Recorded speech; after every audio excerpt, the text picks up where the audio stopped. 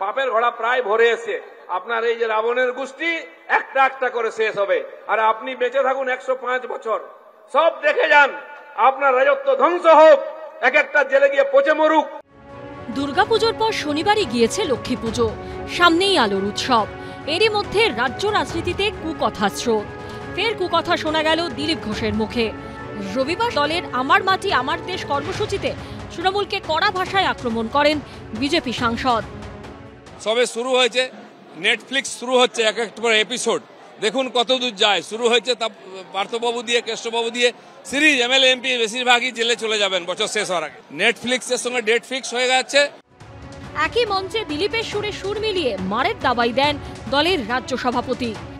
দিল্লি যান মোদিজির সাথে দেখা করে অনুপ্রাণিত হয়ে আসুন আর তারপরে রাস্তায় তৃণমূলকে আমরা বুঝিয়ে দেব কত ধানে কত চাল। মারের বদলে মার হবে পাল্টা লড়াই হবে এই বাংলার মাটিতে দেখা হবে। পাল্টা জবাব দিতে দেরি করেনি তৃণমূল। এখন ভালো সাজদে দুদিন এরকম প্রলাপ বকতে হবে দিলীপ বাবুকে সবে বিজেপিকে হারাধন বলে দিল্লির বকুনি খেয়েছেন তো সেই জন্য এই দু চারটে কথা বলবেন।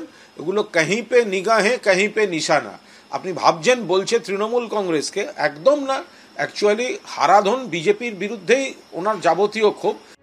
শুধু তৃণমূল নয় দিলীপ নিশানা করেন বাম ও কংগ্রেসকেও।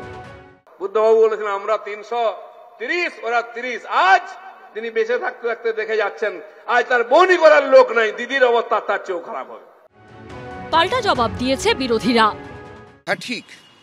লোকসভা বিধানসভার আসনের নিরিখে বামপন্থীরা শূন্য হয়েছে। কিন্তু বামপন্থীরা রাস্তা থেকে হারিয়ে যায়নি। রাজনীতিতে কোনো একটা লোকসভা ভোটে বা বিধানসভা ভোটে কোনো একটা আসন জিততে না পারা, এটা কোনো নতুন ঘটনা না। এই ঘটনা পৃথিবীর ইতিহাসে অজস্র ঘটেছে। প্রশ্ন হচ্ছে, মানুষের সঙ্গে আমরা আছি কিনা? আমরা বিশ্বাস করি আমরা মানুষের সঙ্গে আছি। গত তিরিশে জুলাই মন কি বাত অনুষ্ঠানে মেরি মাটি মেরা দেশ কর্মসূচি ঘোষণা করেন প্রধানমন্ত্রী। এই কর্মসূচিতে দেশের শহীদ বীর ও বীরাঙ্গনাদের সম্মান প্রদর্শন করা হবে।